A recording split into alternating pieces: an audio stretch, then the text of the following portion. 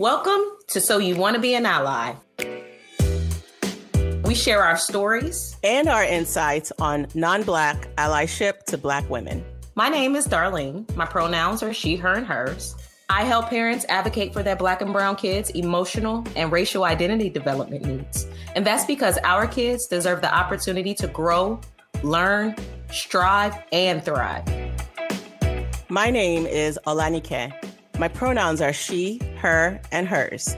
And my life experience led me to becoming an advocate for equity in the workplace, which led me to starting a consulting business where I help workplaces who want to do better. Want to be an ally? Gather round and listen up.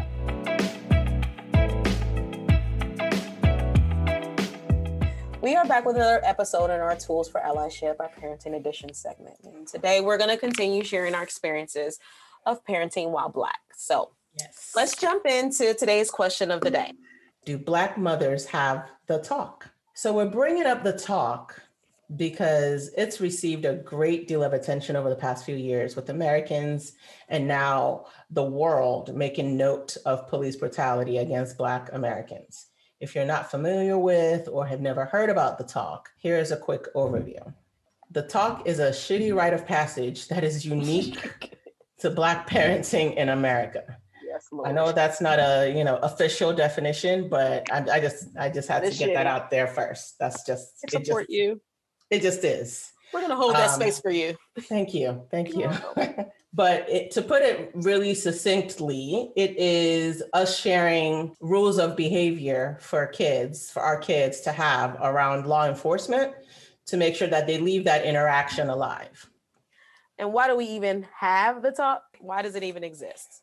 So, from my standpoint, I think about as we've talked about in a, in the first segment, the first couple segments of this parenting edition it's like we do a lot as black parents around preparation if if my kid's to be alive if my kid's to navigate the space safely sometimes you know it doesn't always end up being just the extreme of life or death even though we think about that a lot but again think about what we talked about last the last of episodes it's like emotional safety emotional security mm-hmm. right so i'm always trying to prepare and expose them and give them exposure to topics content ideas um, so that they can feel like they understand. So for me, that's the why. And and ultimately, mm. to be honest, it really boils down to our own peace of mind from my perspective, because sometimes we don't have control over this, right? Think about all the moms who've lost their loved ones, all the moms who've had to pick their kids up at juvenile because of some experience, right? We're hoping, we're hoping that this will be enough it's somewhere between like an act of faith and desperation mm. because you can do you can follow the rules of behavior to a T and still end up shot. So that that's why it's shitty. Yep. And we start to think about having this talk with our kids. I think it's not necessarily an age, but it's more more about when we feel like they've gotten to the point where they're not under our control. They're not within our span of control, our watchful eye. Yeah. They're not with other people that we know or, or yep. kind of have them um, under their watchful eye in the in the way that we would. So typically yep. that's like when they're by middle school because then they're in sports and they're yep. with coaches and you know you know I would say for most kids probably by middle school they've had some version of the talk if not the whole thing it can be very early. Yep. It can be 10, it can be seven or eight. I mean, some kids are out here really navigating the world at yeah. an earlier age than others. And yep. therefore their parents have to prepare them. So it's more about, hmm, you're going to be out of my, you know, care yeah. and you may come across a situation where you have to talk to even a security guard, a yep. police officer, like anyone of that nature. Anyone, right? And that's what I was thinking too as yeah. you were talking. Like it really does depend on the community and a neighborhood and yes what your family dynamics is. Because if you're in a certain neighborhood, the cops could be posted up at the corner and you might right. come in contact with the cop at seven depends on the neighborhood depends on yeah. the presence of police officers in your like immediate vicinity. It depends on you know what the family makeup is. Maybe the child's more independent. Maybe the parent has to allow them out of their watchful eye just a lot sooner just because that's what we got to do sometimes you know? So and even along the lines of what you were saying about there being no clear when i don't think there's a clear where either I think we pick up the conversation whenever, Where whenever and wherever. Right. Mhm. Right. And I and I'm laughing right now because Chris will tell you I will go into my lectures, honey. Like we will be, I'm so serious. I'm going in a lecture when he's sitting down and I'm twisting his hair.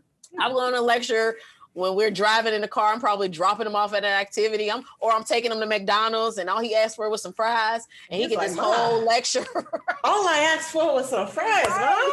Mama, really? Right now? and at this point it's never words. It's always a look right? Because he's not he's not the verbal kid but he'll just be looking like. And then after i'm done i'll see his face and i'm like oh yeah probably he probably wasn't expecting these. He was like my mom used to it. So so you know that that's kind of when we have the talk with our kids. It's like there's mm-hmm. no when and there's no where that's specific. It's wherever it comes up whenever something triggers us the media Yeah. can prompt us a situation Yep. has come up. It literally is an intrusive thought on the parents perspective and that's what It that's where i have it. Or i could be planning a trip or i know that there's going to be some exposure to the police or some authority figure right? Because sometimes it's not always just the police. Sometimes Yeah. it's an authority figure that could then result in bringing the police into the equation. So then you know it could be where is it right outside before i let you go into this basketball game that you're about to play all right when you leave out you know when you leave out of Yeah. here you know this is what's expected so make sure you take these steps You know, it's really interesting because we also wanted to talk about the how. And you just alluded to something. What is inside the talk? How Mhm. do we communicate these rules of behavior? how is it structured Yeah. What you said made me think about like part of the talk is also like giving them the rules of, I don't know, of, of being to avoid an interaction with law Mhm. enforcement so that they don't even have to engage in the rules that we give them for getting through that interaction alive. So there is a whole, there's a piece of the talk that is all, first of all, it's ongoing. Mhm. Um, but there's a piece of the talk that is how do you avoid this interaction in the first place? And that that part feels like we are playing a part in the oppression like it's Mm. really hard because it it makes me feel like like when i have to tell my daughter you can't do certain things that i know that as a child she should be able to do that Mhm. and not be worried about oh this could mean that an adult an authority figure Yep. or, or like law a cop sees me this way and that could escalate in all these ways she should Yep. just be able to play And live. So there's that part of the talk. And then there's the okay, you found yourself in an unavoidable situation and it's happening. Here are the things to, to know and to, to do in those in those moments. Sometimes it is we're able to have the talk before an incident ever happens, but a lot of time it's because of an incident. And the incident, I think, like you said, could be media prompted, but it could also be that they've seen something in their family Mhm. Something happened in their presence or something happened to their family member that's getting discussed or it could be something that has happened directly to them that they're trying to make sense of. And it's not always you know an extreme situation even though it could be. It could be something that's less extreme like oh you know two kids got into trouble for something at school but the black kid got Right. suspended while the other kid you know gets a slap on the wrist. They get detention. Well hmm that's interesting. What's going on there? So sometimes it's little things like that that sort of starts to they start to notice like there's something unfair about this, and then we end up in a conversation about the shitty rite of passage. The shitty rite of passage. So to answer the question, Yes. Do black mothers have the talk? Do we? We definitely do, right? Like Mhm. I don't think I've had the police like driving talk because that's always what I think about when Yeah. I think about the most recent like attention that's been given to the talk. Like, hey, this is how you drive. I do know that when he starts to drive, I'll definitely have that specific Yeah. talk. But Yeah. have I had the talk about how to interact around authority figures and Yeah. um, the police? I Mhm. have. Now, I think it's a very interesting intersection for me, given that I've raised my child to be very vocal. I definitely think Black mothers have the talk for sure, um, mostly because we are the protectors. And we always, to the point that you made about that hope, like the intersection of like hope, Yeah. right? It's like, I got to protect you. And in order to protect you, knowledge is power. And so let's sit down and talk about this plan. Yeah. What about you? Like a lot of the ongoing conversations that I have with her, it has built over time. Okay. So it, it does start out with a com- with conversations about authority figures. And that's interesting that you brought up the driving thing because since we're not there yet, we have not had the this is what you do mm-hmm. if you mm-hmm. pulled over mm-hmm. in a car because that's not relevant. But we've had talks about authority figures in, in, in school settings and sports settings, like yep. in, in the settings where where she finds herself. And I think it's it's interesting to think about black mothers having the talk because you know i don't know if this is true or not because i i don't think about it in this way, but I would assume I would I, I, wonder if people assume that this is a conversation from like black adult men to black boys. Mm, yeah. You know what I mean? Like I'm like, huh, I wonder if this is the assumption that's out there. Yeah.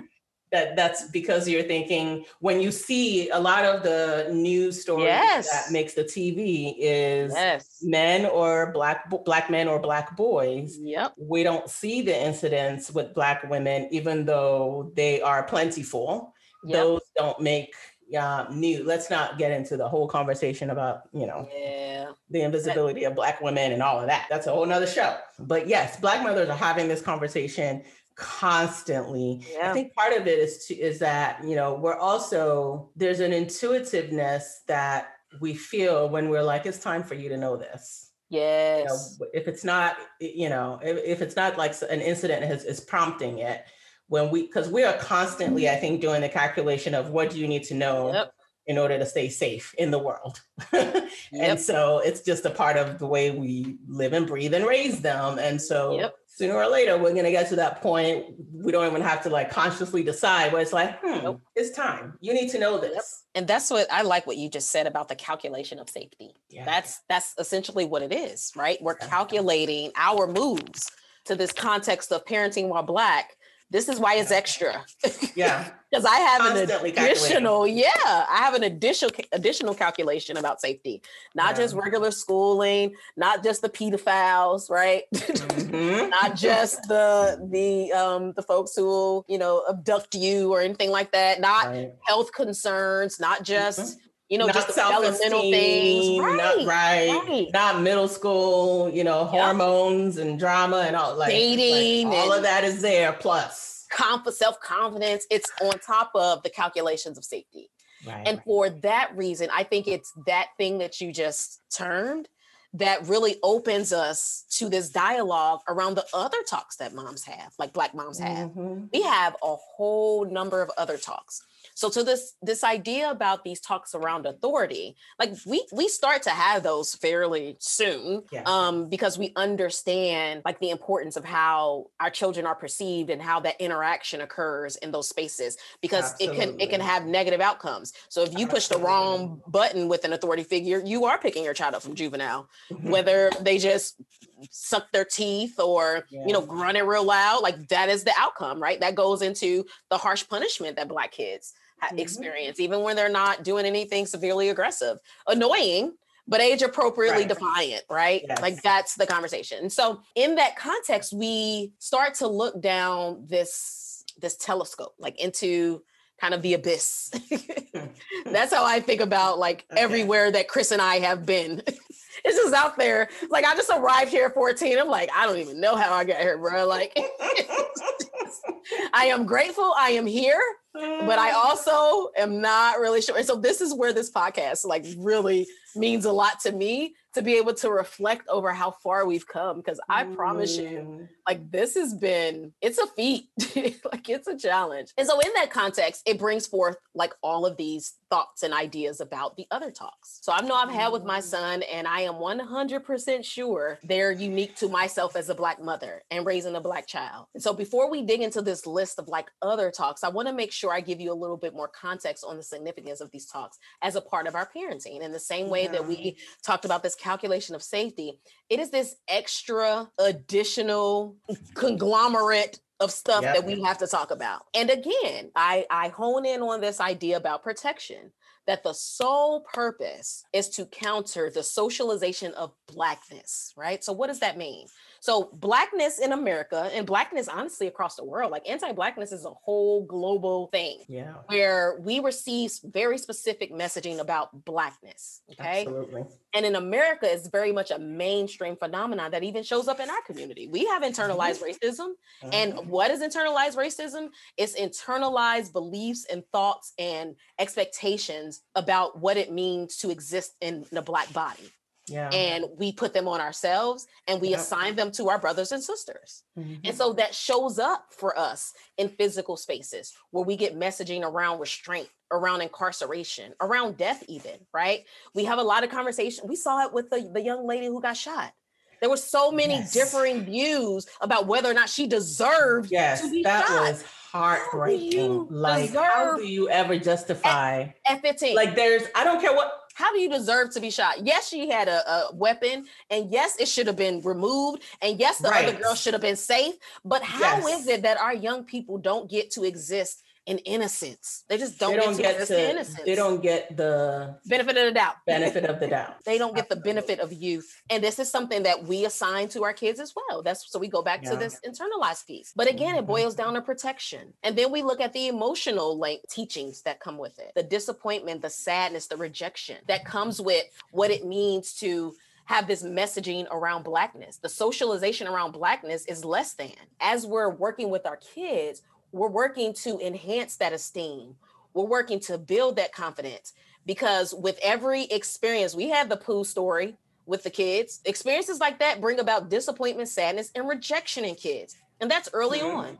Who wants to hear that their kids, their face looks like poo? That's what white kids and other kids bring to our kids. And that's what we're protecting them from. That's what we're counteracting. So you'll hear me use that term a lot because the thing about the calculation of safety is not just making sure that we're protecting them, but we are counteracting a lot of messaging that our kids right. receive. Yeah. But we're also in the same breath doing a lot of correcting. Mm-hmm. And that's the psychological, the identity development piece that that I love and I hone in on because that is a piece that is interwoven into everything that we do.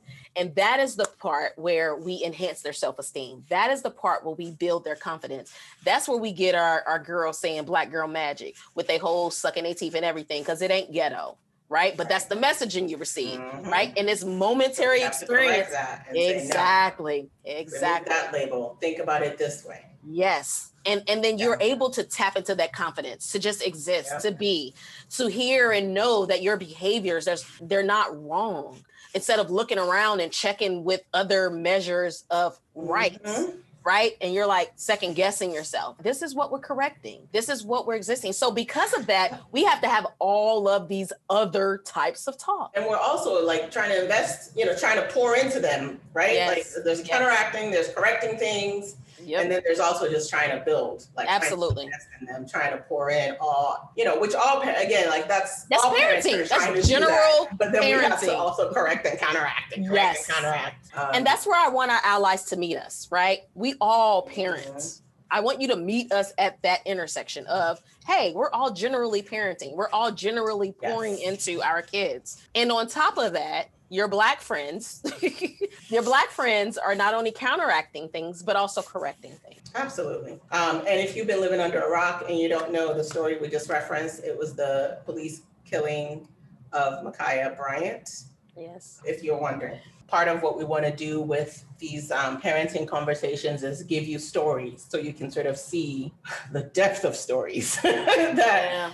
that we have that uh, demonstrate the different types of talks all the ways that we have to continually counteract and correct and, and then rebuild depending on what has happened that we're counteracting and correcting um, rebuild our kids so that they don't internalize this anti-black racism that is just everywhere so I talked about in the previous episode about how um, I was very intentional about Jala loving her hair and uh, viewing her hair as magical because it could do so many things. And we did very different, many different styles and um, updos and, you know, straighten it and let it fall and put it in braids and bantu knots, like everything. Mm. Um, and that was very, very intentional. Um, so we had, I, I would say, mini talks you know, sometimes it was when we're doing her hair. Sometimes it's just me intentionally using different words to describe other people's hair. Mm-hmm. Like if it was not something that I know she's going to see on TV or in media that says that this type of hair or this style of hair is beautiful, I was intentional to, to name that, to call that style or that, you know, texture of hair beautiful in her presence, even if I wasn't talking directly to her. Even if I'm just flipping through a magazine and going, man, I really love her hair. Ooh, this is fierce, you know, like just to surround her, just so she like is ingesting that, that is that counteracting, knowing that she's not seeing uh, her, her hair and um, the different styles that we were doing represented, you know, across the board. But she's she's learning and just sort of um, growing up understanding this is beautiful. That is a wonderful example. And I think I'll follow suit with you and kind of use the story from the last episode as well. Because I think that was the foundation of everything for me with Chris around this idea of his complexion. So my baby is mm-hmm. good in chocolate, like good milk chocolate. To the point that even to the example that you described, like I started out very early intentionally making um, associations with like sweetness and um, mm-hmm. um, smoothness and desire, right? Like so I would yeah. tell him like chocolate, like you're chocolate and I will eat you up. like just let me eat this little finger up because it's so delicious, right. right. So I use words like delicious, and and this is very age appropriate because they don't get like you're beautiful. What do they know about beauty, yeah. right? They're yeah. like four, right? Yeah, but they understand things that they want to consume. The positive association yes. with things that are sweet and yes, yes. and and sought after. Everybody yes. loves chocolate, so that's what I was saying. It's like you're like chocolate, I'm gonna eat you up. It's all like home gnaw on his face. Yeah. Like, um, and it's that context that laid the foundation for me like i didn't have a conversation that says hey the world sees your skin as undesirable i did the opposite like i planted a seed right. in the same way that you did with her here i planted right. a seed and to your point this is very important from a colorism perspective mm-hmm. anytime he noticed there was a, a lighter complexion right or a different mm. complexion Mm-hmm. We would have that conversation. And I would compare it to sweetness as well, because mm. I needed him to mm. understand that we we do exist in, on a spectrum. In a spectrum. It's, and it's not a hierarchy. Exactly. Exactly. This is what that's the message you're gonna get out there. And yes. that's false. And that we all have desirable complexions because my family is very much we have all mm. kinds of shades in our family. And in that same breath, I was very aware of correcting those around me who use the language yes. that I did not want to push forward in my child. I didn't if he, mm. and I but the thing was I didn't try to keep him from it. That was the other thing. Mm. So I want you to be exposed to it, but I want you to have a context and understanding. Yes. And I also want you to see your mother effectively communicate around mm. what that means. Mm. Because mm. remember, if we're going to speak to racial socialization in the black as black parents, we got to talk about it all. Yeah. And this is this is that internalized stuff, yep. right? We sometimes we are protecting ourselves from our internalized from experiences in yes. black families. Absolutely. And I am from a family where my mother is lighter complected and her grandmother treated her mm-hmm. differently because she was of a different complexion. She's mm-hmm. lighter than me. These are things that we have to counteract. So there seems to be this theme early on that I don't think that I'm doing much correcting at this age, maybe because he doesn't have the wherewithal to have the ability yes. to really process uh-huh. that. But I'm definitely planting seeds that will counteract some of the things that will come to him later on. For sure or that could potentially be there and i'm just unaware of it right? Because he hasn't yeah. expressed it or give it put language to it. Yeah. how do you think that changes when when he gets a little bit older six to eight years old let's say? Do you still think you're counteracting when you think back to that developmental phase or did it move into correction or or or building? I think the counteracting for me you'll probably see that throughout the rest of his life. Like I'm still counteracting yeah. stuff. But I think as he gets older, right? So the six to eight phase, this is where we're dealing with discipline as a young Black boy, right? So this is the school setting. This is me having conversations with him about how the teachers will respond. Now, the teachers loved him. He was a great kid. Um, he went to a mon. He was in a Montessori setting. It was mixed mixed race, ethnic, ethno racial groups, and so and the teachers, let me think. I was trying to think of if he had a black teacher. All the teachers were white, but his principal was black. So all the the, okay. the leadership in the building was black. Um, but the huh. educators were white. So that is very important. And I'll tell you why. Okay. Because that principal was very intentional about black boys because she had a black boy. So the way she dealt with black boys, discipline was handled in a more Afrocentric way, meaning I'm going to get on your level.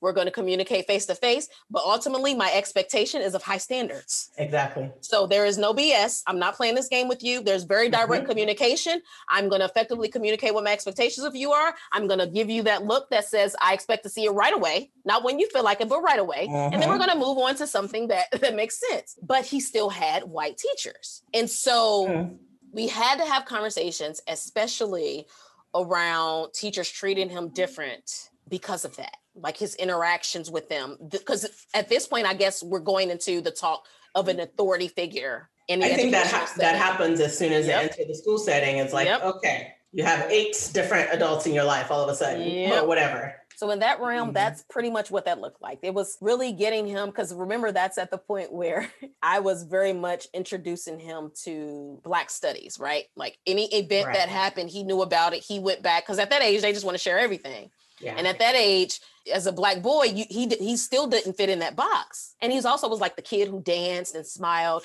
And sometimes he didn't want to do his homework, but for the most part, he got good grades. And so he just didn't fit in a box. So when he was not doing what he didn't want to do, we had to have consequences. I mean, conversations about consequences and how mm-hmm. it's probable that your consequences will be harsher you know yeah. just based on the the way they perceive your defiance right because you're yeah. it's not just developmentally appropriate yeah defiance it's not developmentally appropriate like i just don't want to do it because i'm a kid and i don't want to do it and we see yeah. that in adolescence now but it's like no there's something about you and what you're you're bucking against my authority like he's a whole mm-hmm. dog no he's just a regular mm-hmm. hard-headed kid mm-hmm. so that's the conversations that i recall at that time hmm. i remember that i would say this was probably like i i didn't really have concerns about authority figures in a school setting because as, as I shared in a previous episode, before third grade, she was in a school that was very, the Black children and adults were the majority represented mm-hmm. in the mm-hmm. school. And so there was there was a lot of like culturally familiar ways of dealing with kids that so mm-hmm. for her it was, you know, it was a smooth experience. I mean, you still had teachers that were stricter, you still had yeah, variety, absolutely. obviously, mm-hmm. but no concerns there, really. When we moved, we um, we went into a school that was predominantly white. You know, over the course of that first year, I started meeting other parents and I started interacting with more adults in the school, and you know, um, the things I assumed were confirmed. Like, yeah, I'm gonna have to pay. I'm gonna have to pay a lot more attention here, and and start to pay attention to what she's coming home and telling me about mm-hmm. her teachers, and start mm-hmm. listening with that very critical ear, and then and then mm-hmm. building relationships. So I started to build relationships with other Black parents in the schools and other non-white parents in the schools. Um, and you start to learn about certain teachers that have a certain mm. way of acting and treating different kids. Mm. And so, you know, she was also a, a, child that was raised to be a, a, a critical thinker, to process things. Mm-hmm. And to to use her words. Yeah, I mean, absolutely. from a very early age, I was like, use it. We would go out to a restaurant. I would say, "What are you asking me?" Okay, um, ask the server. Like I was yep. teaching her to be able to communicate absolutely. From a from an early age. All of those things start to come into play in our discussions. When she's like, "Well, I was scared. I didn't want to say anything. Yes. And that, and that teacher, I I have to break that down. Okay, what yes. is happening that you're scared? Yes. Is it just a general anxiety, which it could yes. be, or something else happening in this classroom that I need to dig into? Yes. Like I can't just let that go. Yes. And that's the difference again between just parenting and parenting a black child as a black parent. You hear those things differently because there was one yes. teacher that I always had a funny feeling about.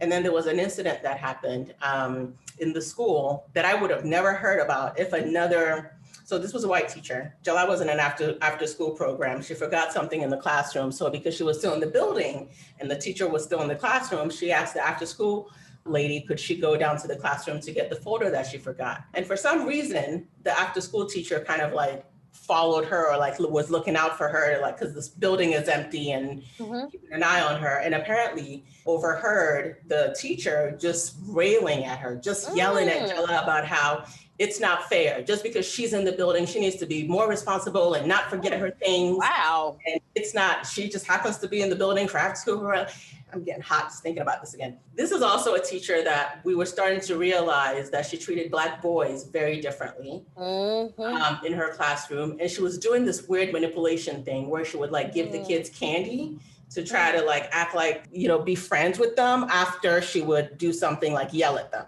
I was just like, this is so wrong. wrong. on so many levels. yeah. When I went to go pick up July from aftercare that day, she felt conflicted because she was like, this is my colleague to a certain extent. Mm-hmm. I feel conflicted, but I feel like I have to tell you what happened. Like, yes. really, she was overreacting. This is what yes. happened. She was very careful with her words, but she said enough for me to feel like, okay, what you saw wasn't okay. And you yes. wanted me to know that because I'm going to get it from a kid. And you're the only other adult that saw what happened, other than the person that was doing the yelling. Before we got home, I had an email from the teacher mm. herself. Mm. And to mm. hear her description of what happened, I was like, you are a bold faced liar. Like completely what? different. Girl. It was all about, you know, I just, you know, we try to teach the kids responsibility. And I had a conversation with her about this. I was like, you are such a fucking liar. No, you did not. Yes. And think about so think about keeping us in the context of black parenting, right? Because we talk to our allies, but we're also talking to our other black mothers. That's one of the things that came up for me too, as a person who like values respect and values like how you present yourself as my child. Like I am on top right. of it. Like if I hear about you being disrespectful, exactly. adult, you got to come see me. Yes. Except Except these wait, this instance exactly. happened and you're like exactly holding your kid to a standard but yes. you don't understand like adult. this is not the adult is so yes. wrong in the scenario and i would not have known that yes had this other adult not said let me pull you to yep. the side and tell you what happened just so you know what really happened because i bet she already knew we were going to get a whole a totally different story and it was funny because the teacher didn't have a reason to send me an email but i think she felt like she realized that Jolette could come home and tell the story. Mm-hmm. And she was tr- she was really trying to counteract Jolette's story before Jolette even mm. got home to tell us. And talk about allyship in the other teacher. Like that's a yes. that's a space where and, and I don't know if that the other teacher who said something was black or white. And it's irrelevant at this point because I'm exactly. speaking specifically to ways to be an ally to a parent and a child, right? Absolutely. Way to protect that child. Protect that child because yes if I would have believed the teacher's story, yes, that Joe I would have placed fault on my child. So many levels. I think it's important to also talk about. We talked about how the adults, the after school teacher, mm-hmm. was an ally there.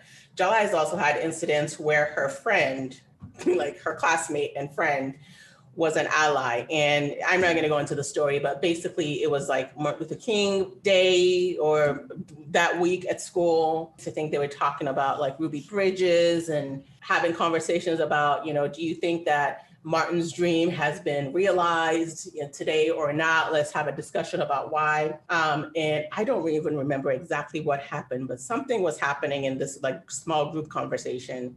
And Jala's friend said something to Jala about like, well, you could do that, or you would understand that because you have the skin color for it. What? And I wish I could remember exactly what was the context, but I don't.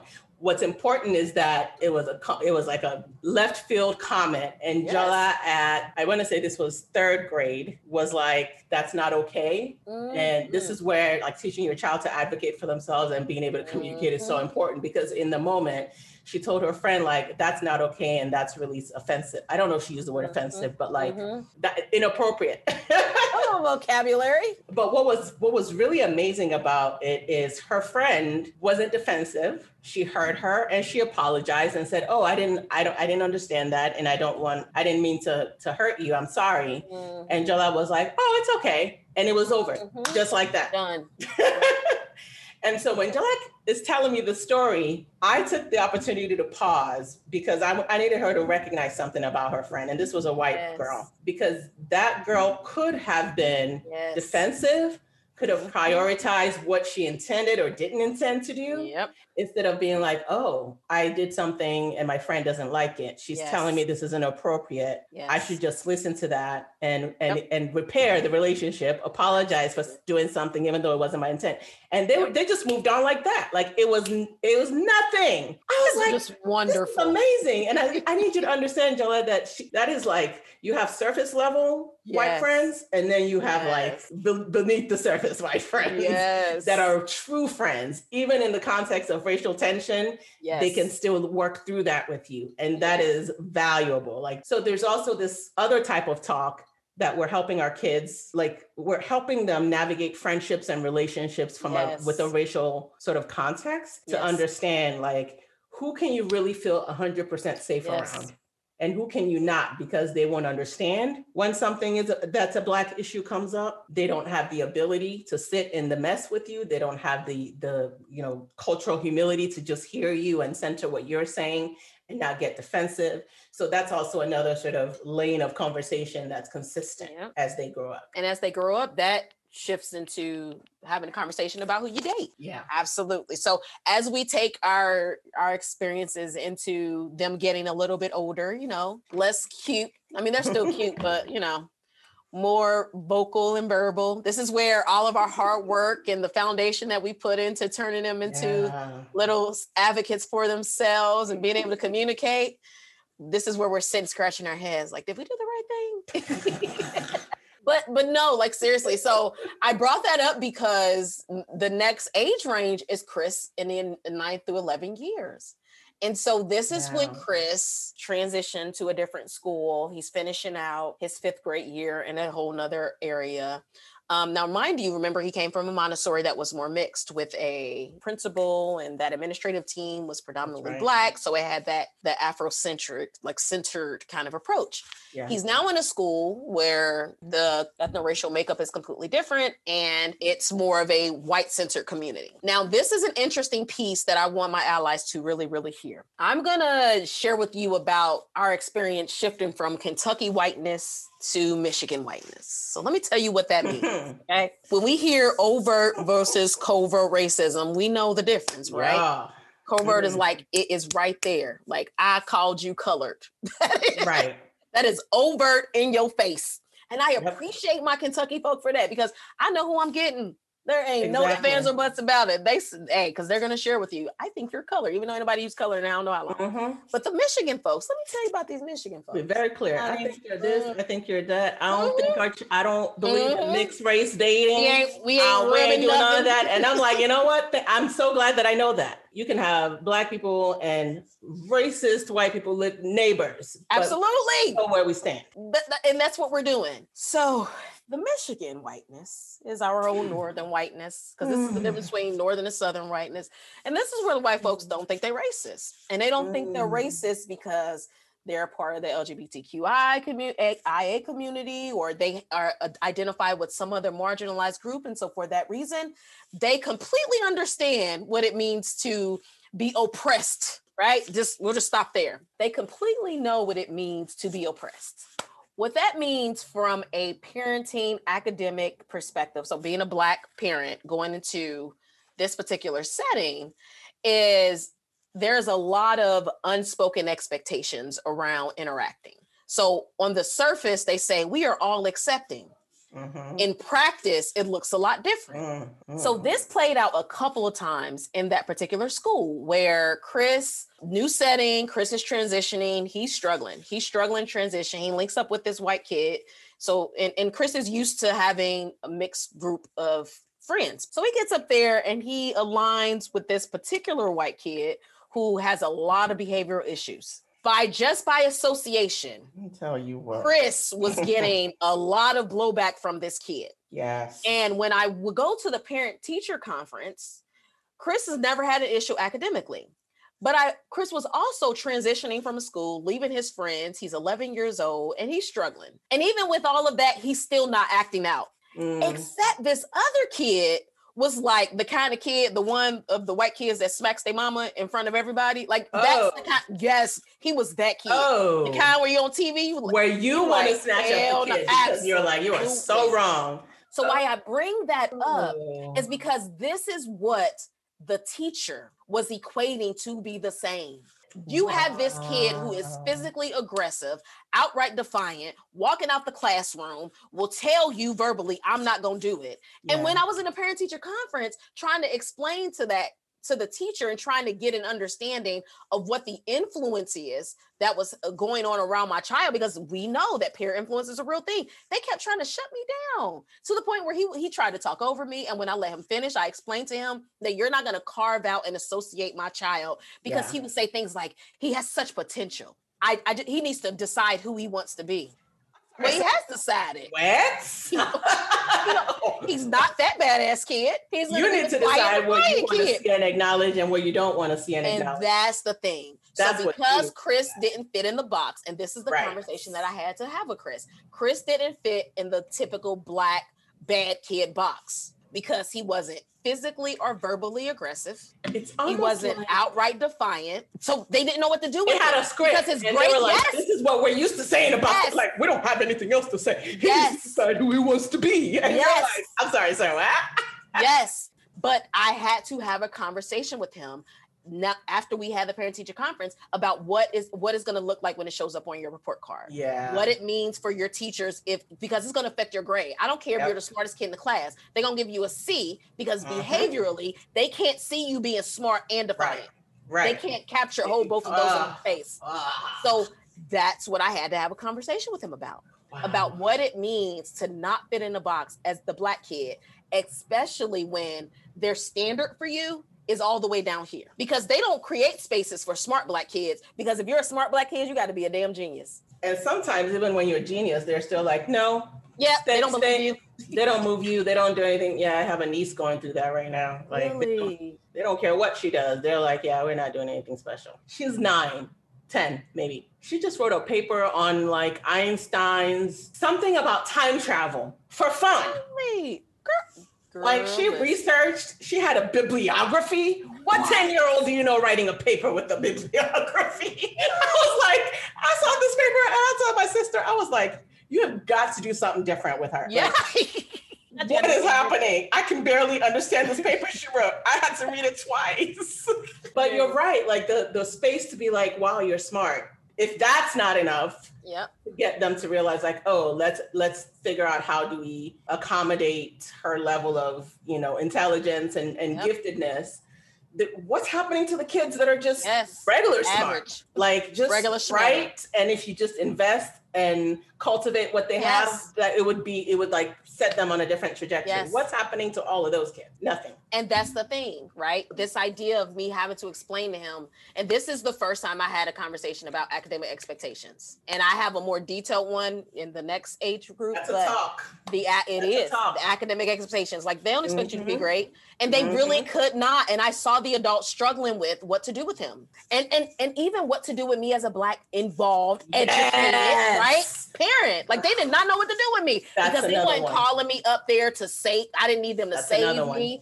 I yep. didn't need them to give me any resources. Yep. I didn't need any of that. They yep. they weren't. I know what I'm talking about, sir. Mm-hmm. I know exactly what's happening. Yep. And the fact that I was challenged, I was a challenge. Mm-hmm. I was a mm-hmm. threat automatically. So I'm so used to yep. being able to walk in as a threat. I, I don't even got to do yeah. nothing. I'm a threat. And on top of that, I mm-hmm. then started having to have conversation with him about his attraction to white girls. Mm. And not that he was so much attracted to white girls, quote unquote, white girls. It wasn't that thing. It was this weird dynamic, Nikkei. It was so freaking weird. Like they had a talent show, and I told you the the ethno-racial makeup, and of course all the black kids dance, of course. and and that was the thing. So of course my son came up. He made up his own dance. He was in there. He got on stage. Girl, when I tell you the entire section of the fifth grade white girls was going off, I said, Oh, no, absolutely not. Wow. That shit was alarming to me. Wow. And I'm going to tell you why it was alarming to me. Because in that time, my son had gone to two sleepovers. One was for a girl, one was for a boy. In that time, I had met parents. In that time, I had met kids. In that uh-huh. time, I had overheard and observed uh-huh. reactions to my only black child wow. in the room. So while these girls over here swooning for my son, wow. their parents are tightly grabbing their hand. This is fifth grade. They are never too young to be accused of anything. Yep. This is my mindset. Yep. So you talk about again, we going back to uh, the calculations of safety. Yes. Immediately turned. You are not safe near I those girls. Immediately yes. turned on. Yes. And so I want my the, the listeners to hear this. This is not even about fantasy attraction dating mm in the sense that we understand as adults. This is about children being allowed to explore attraction. They're like, boy, because this is what you do. Like, this is my boyfriend, this is, my best yeah, friend. Blah, blah, this blah. Is, they're experimenting. Except my little black boy, while all the girls think he's cute, all the moms and dads are concerned, mm-hmm. and he's only 11. Yeah. And this is how they're grabbing their hands. This is how they're um, having them interact at the at the birthday parties. I'm sitting here watching. Instead of allowing even him to be able to go through this uh, developmentally appropriate, they like you, you like them, whatever. You have to then give him the con the the bigger context, and not just out of the blue, but based on my observation of these parents right. and their interaction with him. So many parents are doing it just because we don't have to see it, but we know. But the fact that you actually observed it, had all the data, all the evidence. Lord have mercy. And the thing that's really sad about that too is this is when we say that racism impacts everybody. We don't know that anything like let's let's presume that there's a, a black boy who does have a crush on a white uh, girl or and vice versa. We don't know that anything would necessarily go wrong in that. Absolutely not. Because for especially the kids today you know they've grown up in a different world for the most part. You can still go to some, you know, corners of the country and it's the same world as it was 75 years ago. Yeah. It's not even the kids themselves. It's what's the very normal developmental thing that could happen between these yeah. two children. And then I am on the opposite side of a conflict that's being escalated yes. by this white parent. Yes. Who did not grow yes. up in the 2000s, yes. who I've already witnessed clutch her purse or whatever look sideways at my kid. Like yep. that is the the calculation of safety.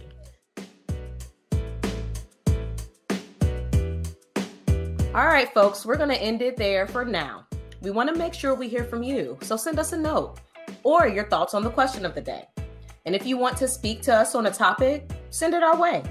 You can find us on our social media platform at wanna be an ally or email us at wannabeanally at gmail.com.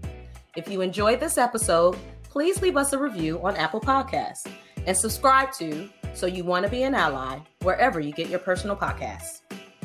You can find me, Olanike, at my website, www.mosaicforequity.com.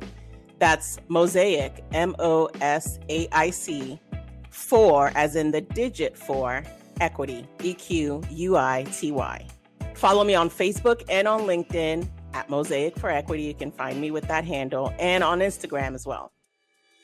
You can find me, Darlene, at my website, www.parentzonellc.com. And follow me on Facebook at Dauni Davis, that's D A U N I, and Parent Zone LLC.